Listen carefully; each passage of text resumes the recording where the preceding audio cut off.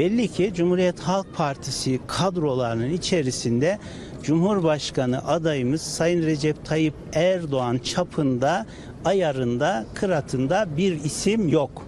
Şimdi biz ben çıkarsam diyor Sayın Kılıçdaroğlu.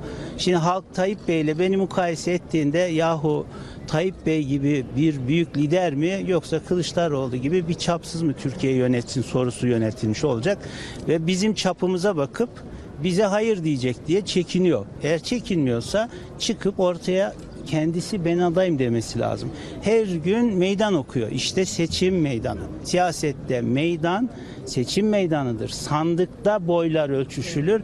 Halk herkesin notunu sandıkta verir. Sayın Cumhurbaşkanımızla televizyon kutularında yarışmayı yüreğin yetiyorsa çık çık diye meydan okumayı biliyor. Ben de Yozgat meydandan diyorum ki Sayın Kılıçdaroğlu yüreğin yetiyorsa işte Yozgat Cumhuriyet Meydanı burada. Ankara, İstanbul, Türkiye'nin 81 ilinin meydanları ortada.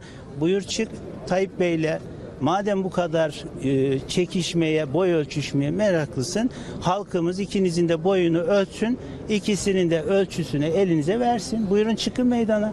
Ama maalesef çıkmıyor. Burada bir şey söylemekte fayda var. Cumhuriyet Halk Partisi'nin Sayın Genel Başkanı adaylarını kendileri konuşurken bizim kafamızda net işte isimler var falan diye söylüyor ama öte yandan da eşim bile bilmiyor diyor.